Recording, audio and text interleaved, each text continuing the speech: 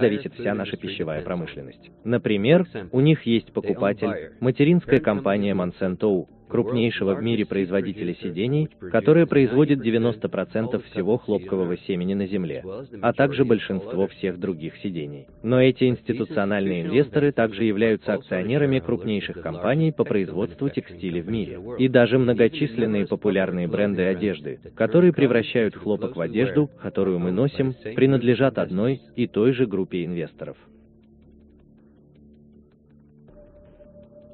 Независимо от того, есть ли у нас крупнейшие в мире производители солнечных панелей или крупнейшие нефтеперерабатывающие заводы, акциями управляют одни и те же компании. Они владеют табачными компаниями, которые производят все популярные табачные бренды в мире. Но они также владеют всеми крупными компаниями фармацевтической промышленности и научными институтами, которые производят лекарства. Они владеют компаниями, которые производят наши металлы и сырье во всей автомобильной, авиационной и военной промышленности, где обрабатываются эти металлы или сырье.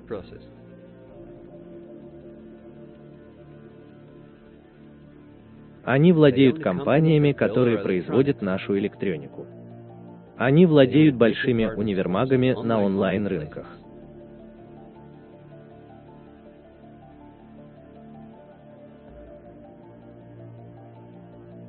И даже способы оплаты, которые мы используем для оплаты своих проектов.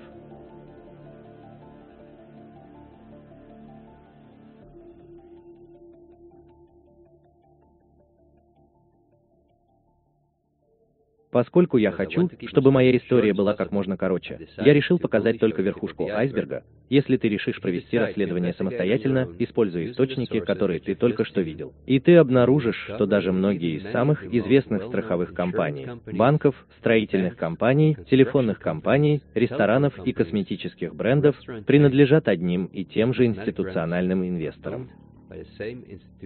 Мы только что видели,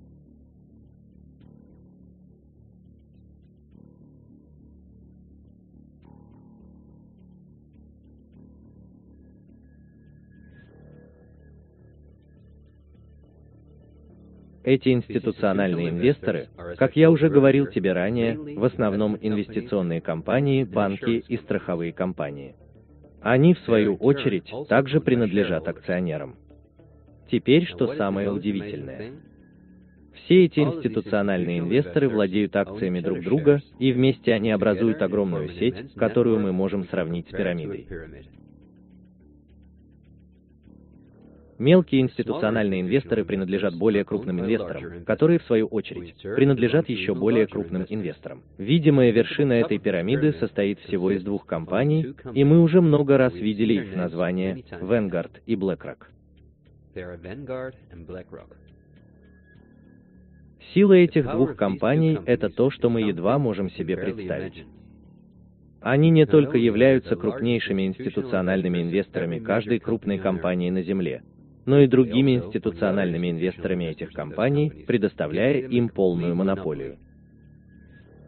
Согласно отчету Bloomberg, одного из самых уважаемых учреждений в мире в области финансовых данных и аналитики, эксперты ожидают, что к 2028 году обе компании в совокупности будут управлять инвестициями в размере около 20 триллионов долларов. И в процессе мы будем владеть почти всем на Земле.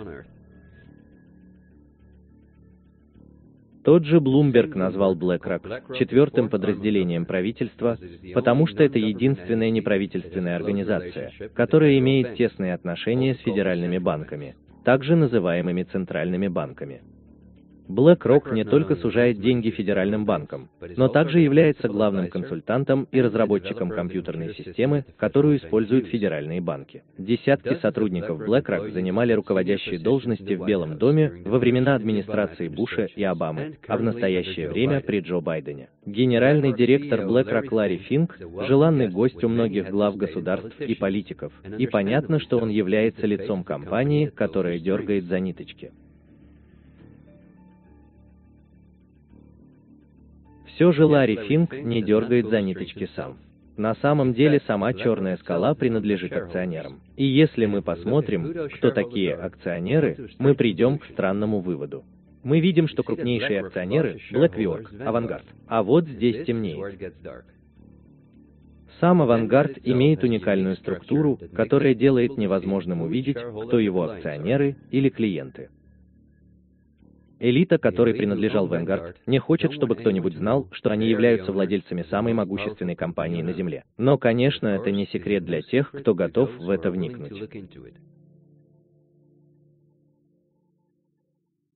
Отчеты Аксфэм и Bloomberg показали, что 1% населения мира в совокупности владеет большим количеством денег, чем остальные 99%. Действительно, Окстон утверждает, что целых 82% всех денег, заработанных в 2017 году, достались этому 1% людей. Естественно, те, кто владеет самой могущественной компанией на Земле, также были бы самыми богатыми среди этого 1%. Другими словами, они являются частью нулевого процента.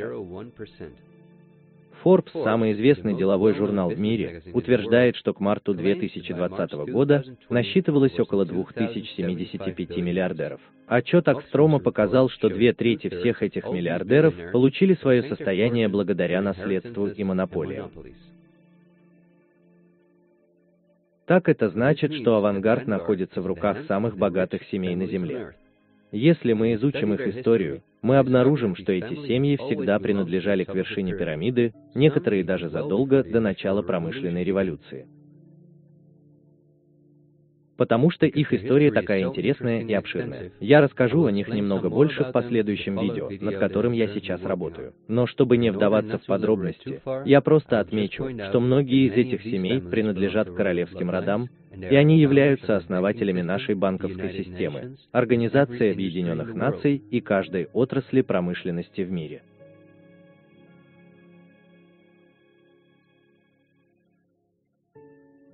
Эти семьи никогда не теряли своей власти, но из-за увеличения населения мира они были вынуждены прятаться за инвестиционными компаниями, такими как Vanguard, крупнейшими акционерами которых являются частные фонды и некоммерческие организации этих семей.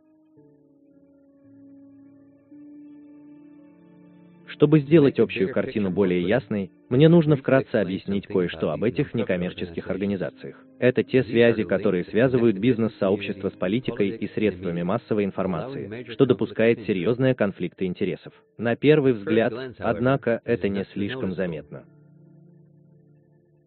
Некоммерческие организации, также называемые фондами, это организации, которые полагаются на пожертвования, и им не нужно публиковать, от кого они получают эти пожертвования. Они могут вкладывать эти деньги во что угодно, и им не нужно платить налог со своей прибыли, пока эта прибыль реинвестируется в другие проекты, в которых они участвуют.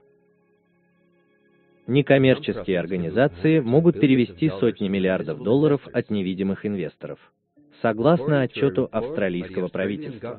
Это делает некоммерческие организации идеальными для финансирования террористических групп и отмывания больших сумм денег.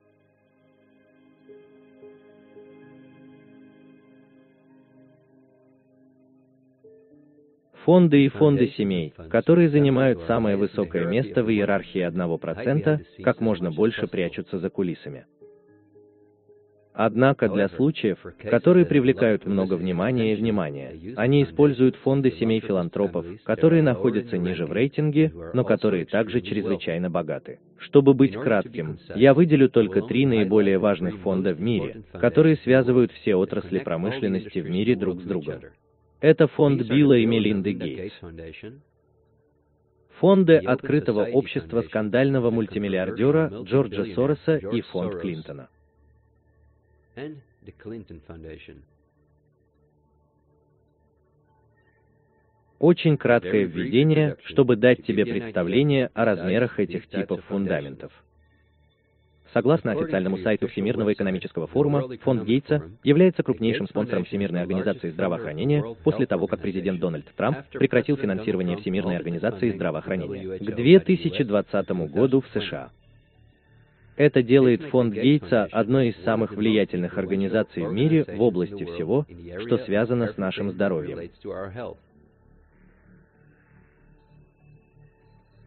Фонд Гейтса тесно сотрудничает с 16 крупнейшими фармацевтическими компаниями в мире, включая Pfizer, Astra, Seneca, Johnson Johnson, BioNTech и Bayer, и мы только что видели, кому принадлежало большинство акций этих компаний.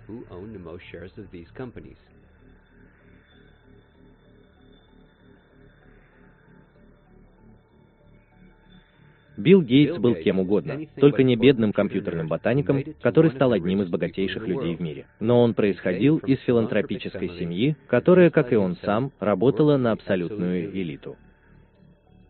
Билл – основатель Microsoft, которая принадлежит BlackRock Vanguard и до недавнего времени Berkshire Hathaway.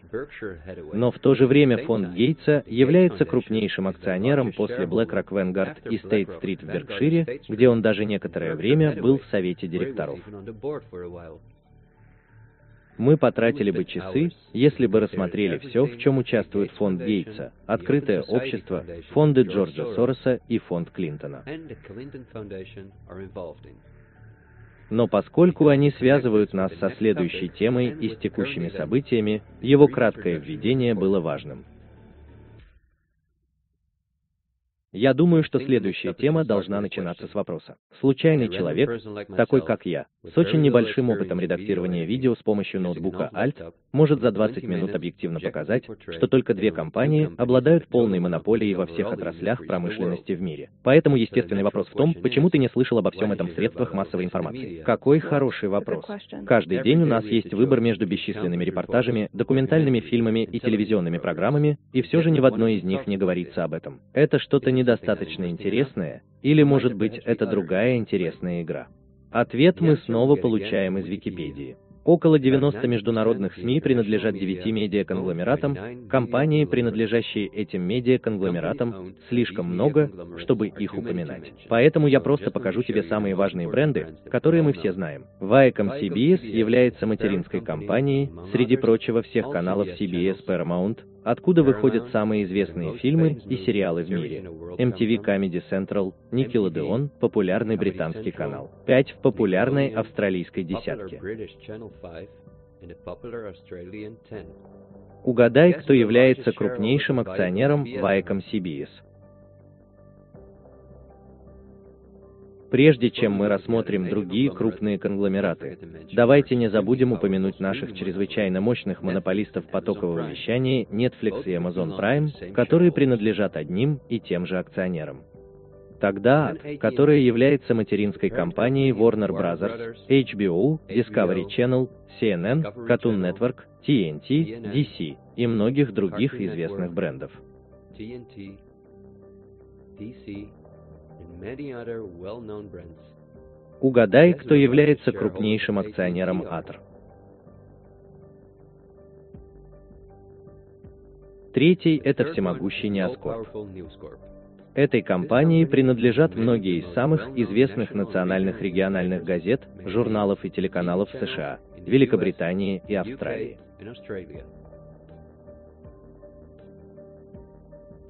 Акции Нускорп принадлежат американскому мультимиллиардеру Руперту Мёрдоку и институциональным инвесторам, которых мы видим повсюду.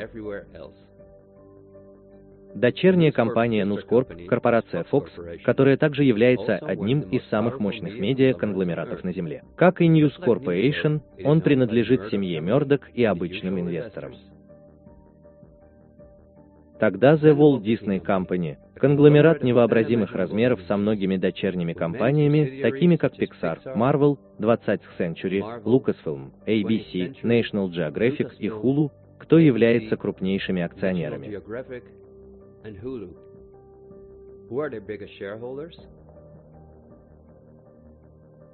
Еще один мощный медиа-конгломерат – Comcast – это материнская компания NBC, DreamWorks, Universal, Sky Group, Focus, Futures, Infinity и многих других крупных медиа-брендов.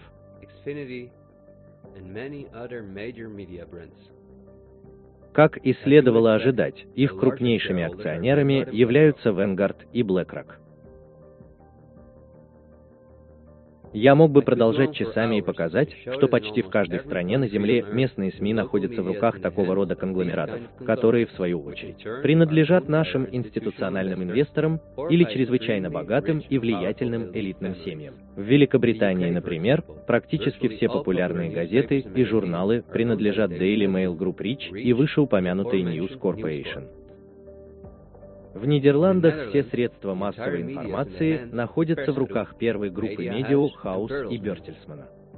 И в Германии все средства массовой информации контролируются правительством Германии. Бронс установил один, Эксель Спрингер и снова Бертельсман, который также является конгломератом беспрецедентных размеров.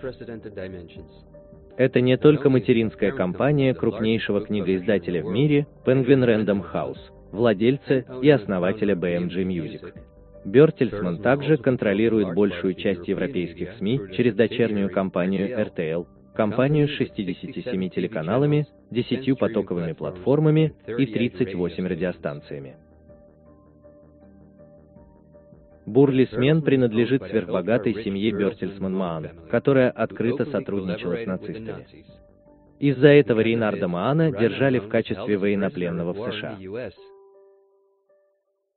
Помимо РТЛ, Бертельсман также владеет значительной частью основных французских СМИ и вместе со СМИ создал мощный итальянский конгломерат бывшего президента Берлускони, который контролирует самую важную часть основных итальянских СМИ. Они также владеют всеми популярными испанскими телеканалами. Теперь, чтобы завершить картину, давайте посмотрим, откуда приходят новости о том, что все эти средства массовой информации ежедневно кормят нас. Различные средства массовой информации не выпускают свои новости сами, а используют информацию и изображения от информационных агентств, таких как Reuters, голландские AEP и французская FP.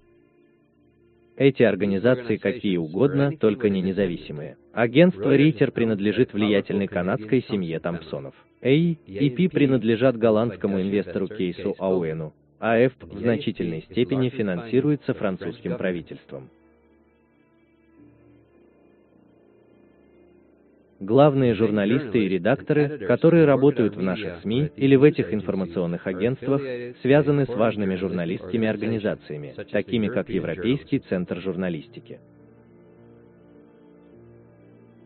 Это один из крупнейших спонсоров проектов, связанных со СМИ по всей Европе. Обученные журналисты выпускают учебные материалы, проходят стажировку, например, в ЭМП, и тесно сотрудничают с крупнейшими мировыми корпорациями, такими как Google и Facebook.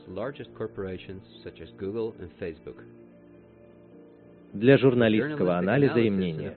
Все основные средства массовой информации в мире используют Project Syndicate – самую мощную организацию в своей области. Он снабжает 506 наиболее важных средств массовой информации в 156 странах. Синдикат проекта плюс такая организация, как Европейский центр журналистики, вместе с информационными агентствами, являются связующим звеном между всеми различными средствами массовой информации по всему миру. Когда дикторы новостей читают новости со своих телесуфлеров, есть большая вероятность, что текст исходит от одной из этих организаций. В результате мировые СМИ часто синхронизируются в своих репортажах.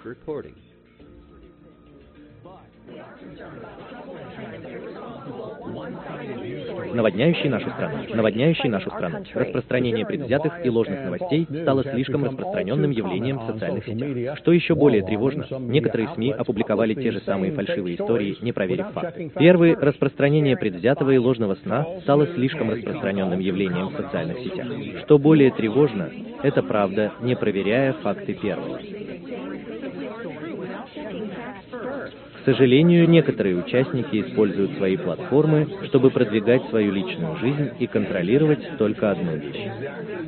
И это чрезвычайно опасно для нашей демократии. Это чрезвычайно опасно для нашей демократии. Это чрезвычайно опасно для нашей демократии. Это чрезвычайно опасно для нашей демократии. Это чрезвычайно опасно для нашей демократии. Это чрезвычайно опасно для нашей демократии. Это чрезвычайно опасно для нашей демократии. Это чрезвычайно опасно для нашей демократии. Это чрезвычайно опасно для нашей демократии. Это чрезвычайно опасно для нашей демократии. Это чрезвычайно опасно для нашей демократии. Это чрезвычайно опасно для нашей демократии. Это чрезвычайно опасно для нашей демократии. В сентябре 2020 года Европейский центр журналистики и Facebook создали фонд для поддержки отдельных новостных организаций, которые будут вести репортажи во время кризиса короны. Давай посмотрим, что это за организации, которые наряду с информационными агентствами для евреев или новостями. В Project Syndicate мы видим фонд Билла и Мелинды Гейтс, фонд «Открытое общество» и Европейский центр журналистики.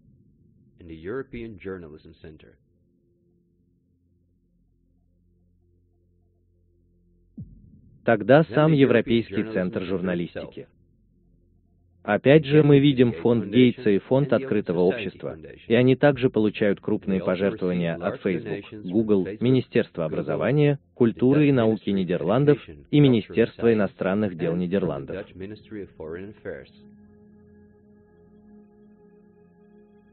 Организации, которые находятся в центре нашего информационного потока, финансируются некоммерческими организациями той же элита, которая также контролирует все средства массовой информации. Однако часть наших текстовых денег также проходит через эти организации.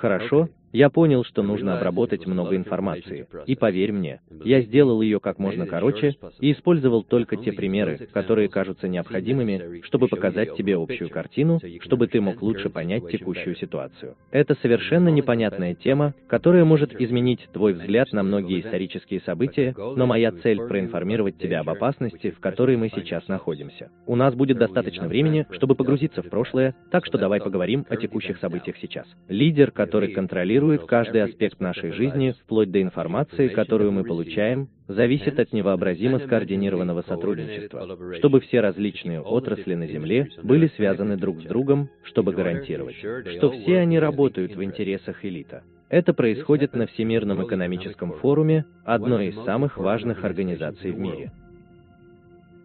На своей ежегодной встрече в Давосе руководители крупнейших компаний на Земле собираются вместе с главами государств политиками и другими влиятельными лицами и организациями, такими как ЮНИСЕФ и Greenpeace.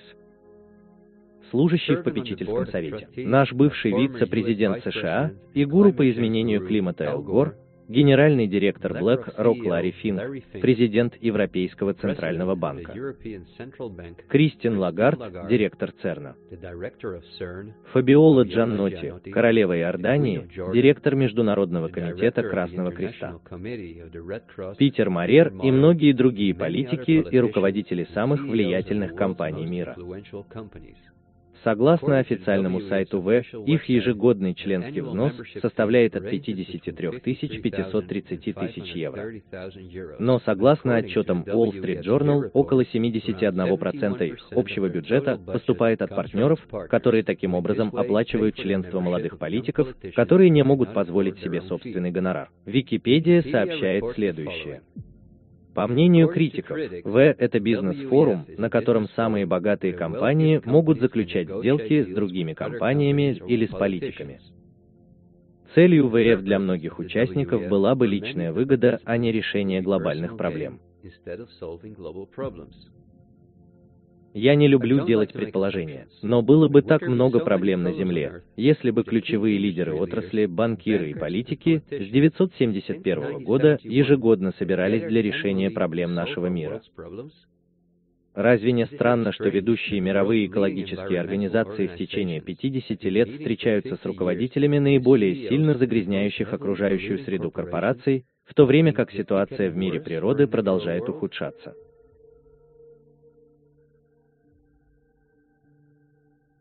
То, что эти критики вы правы, скоро станет ясно, когда мы посмотрим, кто является наиболее важными партнерами, на долю которых приходится почти 71% бюджета WS. Есть BlackRock, фонды открытого общества, фонд Билла и Мелинды Гейтс и многие другие крупные корпорации, акции которых прямо или косвенно принадлежат Vanguard и BlackRock.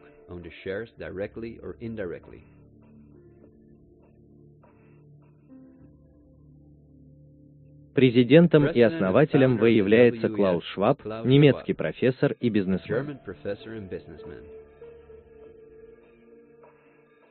В своей книге «Великая перезагрузка» он подробно описывает планы своей организации.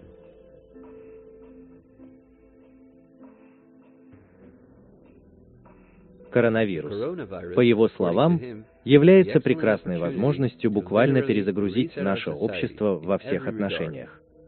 Он называет это «построй лучше». И этот лозунг, похоже, является девизом всех глобалистских политиков в мире. И сейчас исторический момент, кошерный момент для восстановления будущего, для изменения нашей политики.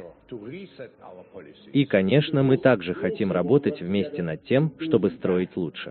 Ты знаешь, я сказал, что мы будем отстраиваться, и мы будем отстраиваться лучше. Это, безусловно, серьезный кризис, но он также предоставляет нам уникальную возможность. Мы должны использовать эту историческую возможность. Вместе мы можем превратить кризис в возможность. Но эта глобальная пандемия также создала возможность отстроиться лучше, отстроиться лучше позже, но также и отстроиться лучше чтобы построить лучший мир, чтобы строить лучше. Ты не можешь просто строить заново. Мы должны строить лучше и достигать целей устойчивого развития. И климатические меры являются неотъемлемой частью этого. По словам Шваба, наше старое общество должно быть заменено новым, в котором страны отказываются от своего суверенитета перед всеохватывающим мировым правительством, в котором люди не владеют ничем, кроме работы на государство в обмен на их жилье, здравоохранение и все другие основные потребности. Все это необходимо, согласно ВФ, потому что наше современное общество потребления, которое нам навязала сама элита, не может продолжать существовать в том виде, в каком оно есть. Это больше неустойчиво.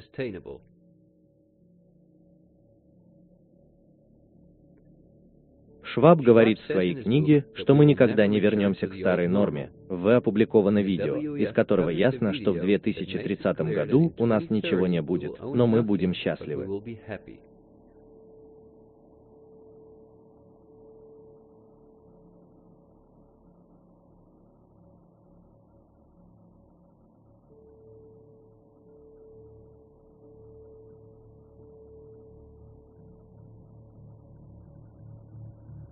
Ты, наверное, слышал какие-то разговоры о новом мировом порядке. СМИ хотят, чтобы мы поверили, что это тема для теоретиков заговора, хотя об этом говорили на протяжении поколений такие президенты, как Джордж Буш, Шинир Нельсон Мандела и Билл Клинтон. У нас есть возможность создать для себя и для будущих поколений новый мировой порядок. Мир, в котором верховенство закона, а не закон джунглей, управляет поведением наций. Когда мы добьемся успеха, а мы добьемся, у нас появится реальный шанс на этот новый мировой порядок. Порядок, при котором заслуживающая доверия Организация Объединенных Наций может использовать свою миротворческую роль для выполнения обещаний и видения основателей ООН. После 1989 года президент Буш продолжал повторять фразу, которую я часто использую сам, что нам нужен новый мировой порядок. Что позитивная задача, стоящая перед нами сейчас, состоит в том, чтобы фактически создать новый мировой порядок.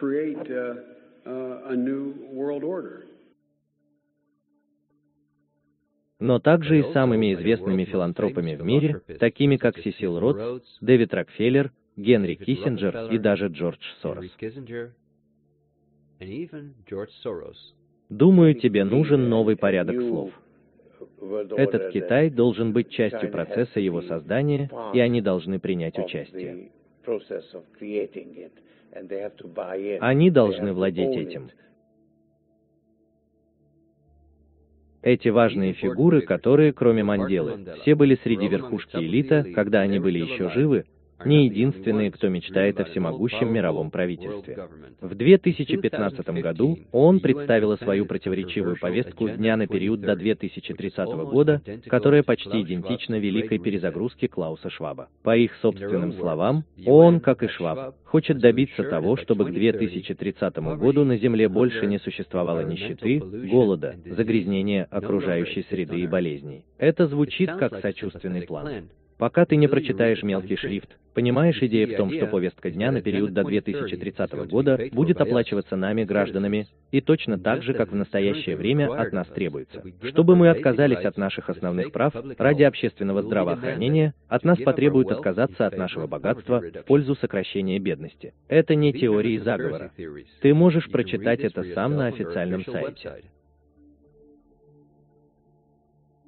Короче говоря, все сводится к следующему. ООН хочет забрать налоговые деньги у всех западных стран и передать их мегакорпорациям элита, которые будут заключать контракты на восстановление общества. Глобально необходима совершенно новая инфраструктура, потому что, по мнению ООН, ископаемое топливо должно уйти в прошлое. Для этого огромного проекта необходимо мировое правительство, говорит ООН. И та же ООН берет на себя роль этого глобального правительства. Как и Шваб, США также считает, что пандемия – это прекрасная возможность ускорить осуществление повестки дня на период до 2030 года. Вызывает беспокойство то, что W, ЕФ и Ю э, открыто признают, что они рассматривают пандемии и другие бедствия как возможность преобразовать общество. Особенно с тех пор, как мы увидели, что в распоряжении элиты есть все ресурсы, чтобы заставить нас поверить в пандемию и даже создать ее. Поэтому мы, конечно, не должны относиться к этим вещам легкомысленно, и мы должны тщательно их изучить. И когда мы это делаем, мы сталкиваемся с вещами, которые вызывают еще большую тревогу. В пятницу, октябрь 1820 года, за 19 месяцев до объявления пандемии, в отеле Пьер в Нью-Йорке состоялась встреча для избранной группы из примерно 130 очень важных гостей, включая политиков и самых уважаемых в мире медиков и фармацевтов.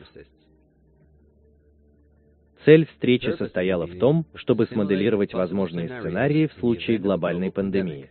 Это может быть совпадением, можно сказать. Однако для этой симуляции в качестве примера был использован коронавирус. Моделирование подробно описывало, как будет развиваться коронавирус и как они смогут контролировать это только благодаря интенсивному сотрудничеству целых отраслей промышленности, правительств и правительственных учреждений. Еще раз, новый мировой порядок спасет нас от разрушения. Тебя удивляет, когда я говорю тебе, что эта встреча, названная событием 201, была организована никем иным, как Всемирным экономическим форумом для создания фонда Мелинды Гейтс и Института Джона Хопкинса. Это не теория заговора. Проверь сам официальный сайт события 201.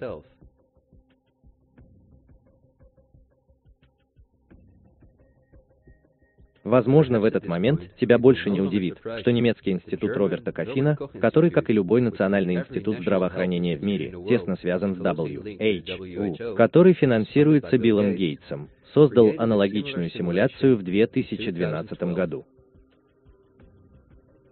Как и в случае с событием 201, симуляция предполагала наличие коронавируса. Эта симуляция предполагала, что на продовольственном рынке Юго-Восточной Азии коронавирус распространится от животного к человеку. Как это случайно, не правда ли? В этой симуляции властям требуется несколько недель, чтобы идентифицировать вирус, позволяя ему распространяться по всему миру. Ассимиляция происходит в течение трех лет подряд, в течение которых происходят блокировки и разрушается экономика. Но и воздействие на общество имитируется во всех аспектах, даже протесты. Я не буду утомлять тебя подробностями. На самом деле, ты можешь скачать этот анализ для себя с веб-сайта правительства Германии. Последнее, что я хочу показать, это отрывок из лекции, которую бельгийский ведущий вирусолог Марк Найдонс прочитал 2200 19 января в Чатем-хаусе, крупной некоммерческой организации в Лондоне, где важные мировые лидеры встречаются для обсуждения глобальных проблем.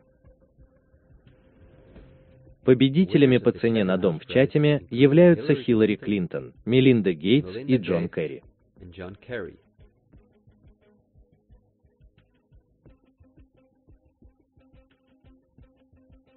То, что обсуждается насилие, просто шокирует. На самом деле это объясняет, как он обманул все население Бельгии во время свиного гриппа, нагнетая страх, вне контекста уровня смертности и манипулирования средствами массовой информации.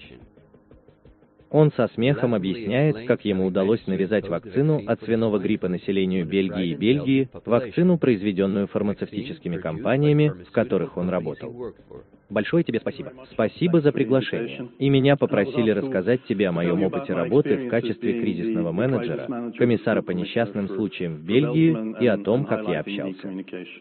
И тогда у тебя есть одна возможность сделать это правильно. Я имею в виду, что первый день так важен первый же день ты начинаешь общаться с прессой, с людьми, и ты должен делать это правильно.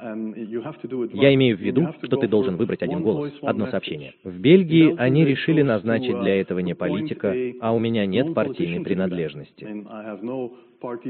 И это немного облегчает ситуацию в то время, по крайней мере, немного легче, потому что на тебя не нападают политически, большинство, меньшинство. Это не вступает в игру, и это было огромным преимуществом.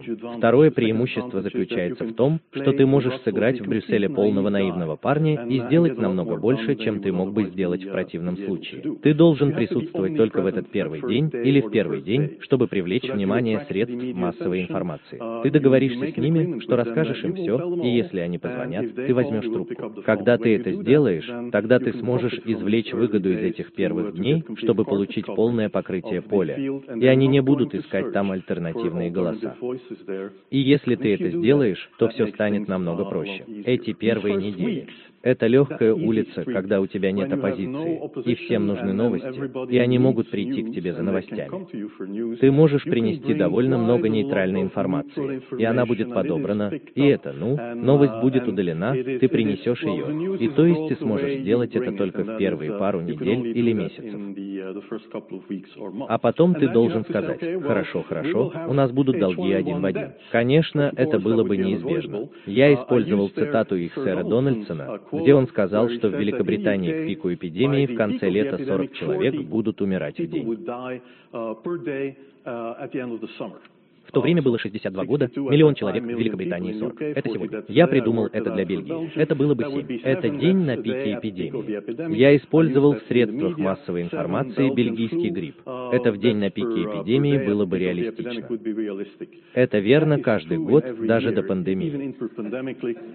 Это очень-очень консервативно. Однако говорить о смертельных случаях важно, потому что когда ты это говоришь, люди говорят, «Вау, что ты имеешь в виду, люди умирают из-за гриппа». И это был необходимый шаг, который нужно было сделать. А потом, конечно, через пару дней у тебя был первый час и одна смерть в стране. И сцена была установлена, и об этом уже говорили. А потом тебе пришлось выбирать, кому делать прививку первым. А потом, ну, сначала женщины и дети, что угодно. Я имею в виду группы риска, они были важны. А потом я злоупотребил тем фактом, что лучшие футбольные клубы Бельгии неуместные вопреки всем соглашениям сделали прививку. Они сделали своих футболистов приоритетными людьми. Поэтому я сказал, что могу использовать это, потому что, если население действительно верит, что эта вакцина настолько желательна, что даже футболисты поступили бы нечестно, получив свою вакцину, я сказал, хорошо, я могу поиграть с этим. Так что я поднял большой шум по этому поводу. Это он бредит как сумасшедший. Но это сработало. Организация Chatham House также финансируется всеми крупными корпорациями элита, фондом Гейтса и фондами открытого общества. Мы могли бы часами говорить о коронавирусе, выживаемость которого составляет 9998%, и о непонятных мерах, которые разрушают наше общество. Миллионы предпринимателей потеряли свой доход.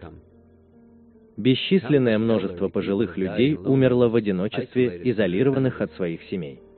Но я думаю, что мы рассмотрели достаточно фактов, которые ставят глобальные меры по борьбе с желанием в более широкий контекст, рассматриваемый с точки зрения элита. У этой чрезвычайно богатой элита, в совокупности насчитывающей десятки тысяч миллиардов, нет никаких проблем с тем фактом, что более 40% населения мира вынуждены жить менее чем на 5,5 долларов в день или что миллионы детей умирают от загрязненной ими питьевой воды или от недоедания.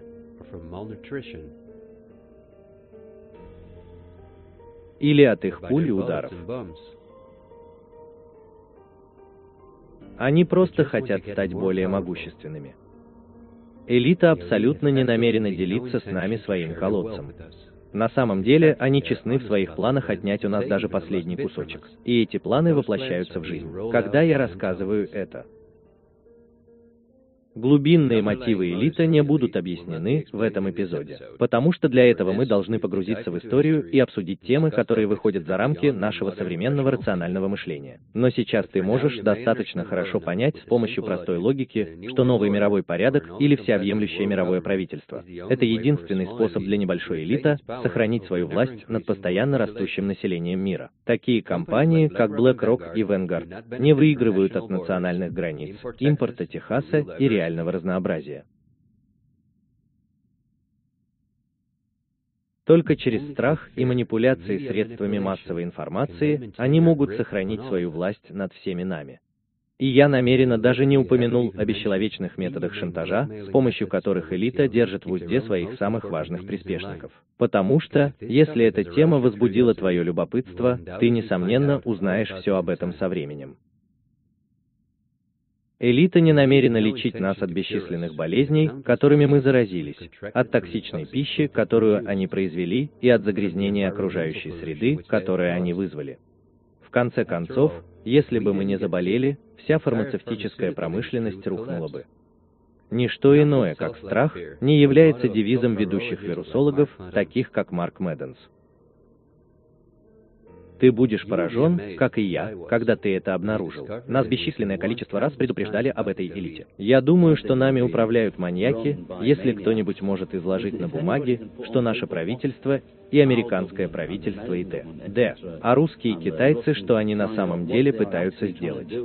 Ты знаешь, я думаю, что они все сумасшедшие, понимаешь. Но меня могут посадить как сумасшедшего за то, что я высказал это. Ты знаешь, в этом и есть безумие. Я имею в виду, ты не согласен. Но нам противостоит во всем мире монолитный и безжалостный заговор, который полагается в первую очередь на средства зависти для расширения своего страха влияния. О проникновении вместо вторжения, о подрывной деятельности вместо выборов, о запугивании вместо свободного выбора, о гориллах ночью вместо армии днем.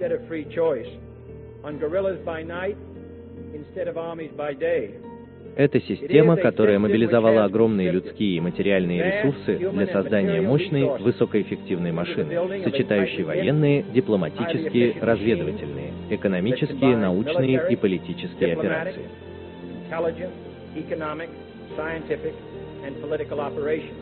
Его приготовления скрыты, не публикуются, если ставки зарыты, а не в заголовках. Его несогласие — это молчание, а не похвала. Никакие расходы не ставятся под сомнение, никаких слухов не печатают, никакой секрет не раскрывается. Президент Кеннеди был убит. Теперь это официально. Президент мертв. Женщины здесь в шоке. Некоторые упали в обморок. У мужчин, стоящих у отделения неотложной помощи, по лицу текут слезы. Здесь есть только одно слово, чтобы описать эту картину, и это горе, и многое другое. Это официально. Всего несколько минут назад президент Соединенных Штатов был мертв.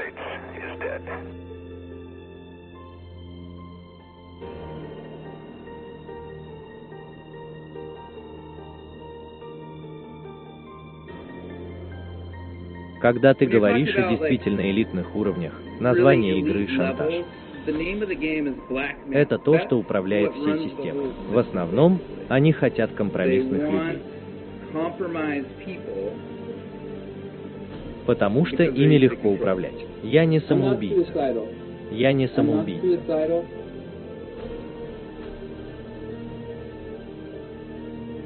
Глубинное государство — это те люди в правительстве США, которые являются карьерными работниками, которых не могут уволить люди, которых мы избираем Конгрессом или президентом. Эти люди контролируют ситуацию. Они могут принимать законы. Да. Мы можем уволить этих людей. Нет. Могут ли президенты уволить их? Нет. Это устроено таким образом, чтобы политические партии и политические интересы не могли повлиять на глубинное государство. Ты понимаешь весь кошмар нашей ситуации, люди. Это не секрет. Это настолько открыто, насколько это возможно. Глубинное государство действительно контролирует Америку. Проснись, люди. Пожалуйста, Боже, я слышу немного здравого смысла. Спасибо тебе.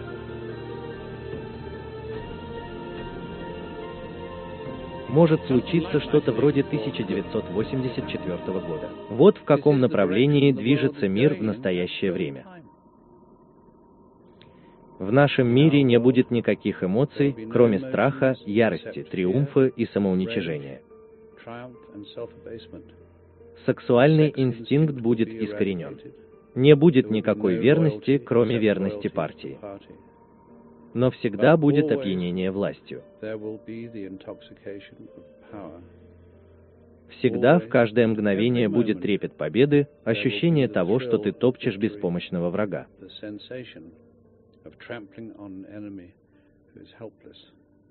Если тебе нужна картина будущего, представь, что ботинок вечно топчет человеческое лицо. Мораль, которую следует извлечь из этой опасной кошмарной ситуации, проста. Не дай этому случиться. Это зависит от тебя. С помощью этого видео я надеюсь связаться с тобой, чтобы сократить постоянно увеличивающееся расстояние между нами. Только когда мы разделены, элита может сохранить за нами власть над нами. Самый большой страх элита заключается в том, что мы поймем, что на самом деле происходит на Земле. И единственный способ, которым элита думает, что они могут предотвратить это, это цензура. Препятствующий человеческому контакту. Непрекращающееся подставление политических оппонентов и тех, кто думает иначе.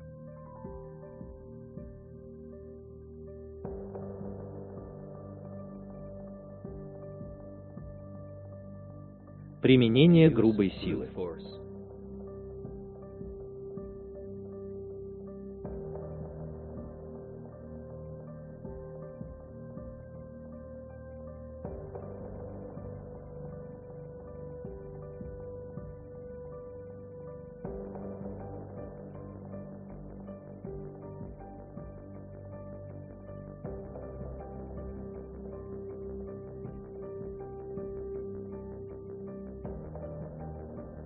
Планы элиты ясны, так же, как и безжалостный способ, которым они хотят их осуществить.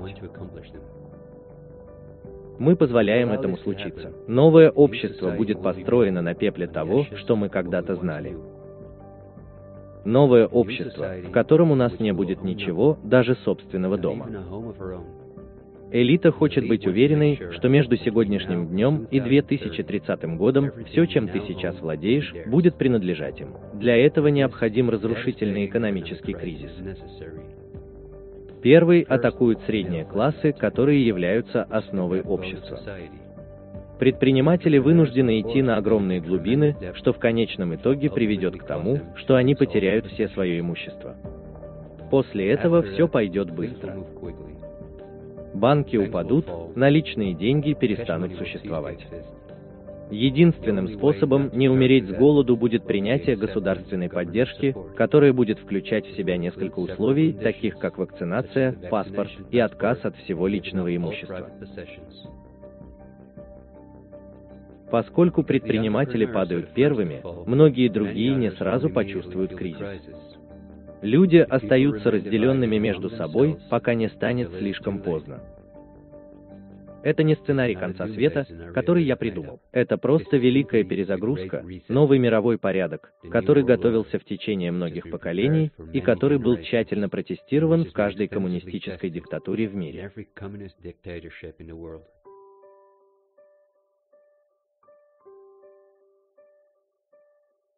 Но это может пойти и в другом направлении. И вместо великой перезагрузки мы можем вызвать великое пробуждение и создать мир, в котором никому не придется голодать. И где мы можем жить устойчиво, в свободе, друг с другом и с природой. Это нереалистичная мечта наяву. Всегда были силы, которые стремились сломить власть элита. Но до недавнего времени наших средств связи всегда было недостаточно, чтобы запустить сеть МАМ. Элита всегда держала нас в неведении об открытиях таких гениев, как Тесла, который был далеко продвинут в области чистой, свободной энергии или другие. Рейв, который использовал радиоволны, чтобы вылечить по меньшей мере 16 неизлечимых больных раком, прежде чем он, как и Тесла, умер подозрительным образом. Для Генри Форда, где 941 уже сделал автомобиль из биопластика, который оказался прочнее стали. Элита скрыла от нас бесчисленное множество таких методов, потому что они представляют угрозу для их монополий в каждой отрасли. Это были методы, которые дали бы нам свободу и наделили бы элиту властью и риском, которые основаны на нашем страхе и зависимости от их проектов. Это не теории заговора, а факты. Я хочу сказать, что для всех нас открывается мир новых возможностей, где нет нищеты, загрязнения окружающей среды, болезней или войн, и в котором правительства работают на благо людей, а не наоборот бесчисленные болезни, которые обеспечивают сельскохозяйственную промышленность сотнями миллиардов долларов, будут излечены. Никому не придется надрывать задницу, чтобы жить достойной жизнью. Люди больше не будут жить в страхе из-за лжи средств массовой информации, сельскохозяйственной промышленности, климата, лобби и политиков.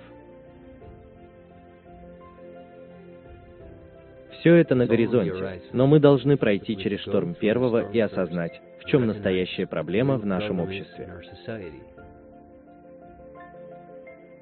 Я хочу поблагодарить тебя за то, что ты выслушал меня, и надеюсь, что когда-нибудь окажешься на свободе. Вместе мы вспомним этот уникальный момент в истории. Нам еще так много нужно рассказать, но остальное мы оставим на потом. Это видео было задумано только как введение. Вот где начинается наше путешествие, и оно будет трудным. Но мы сделаем это вместе и поможем друг другу подняться, когда упадем. Мы не будем бояться, мы на 99%.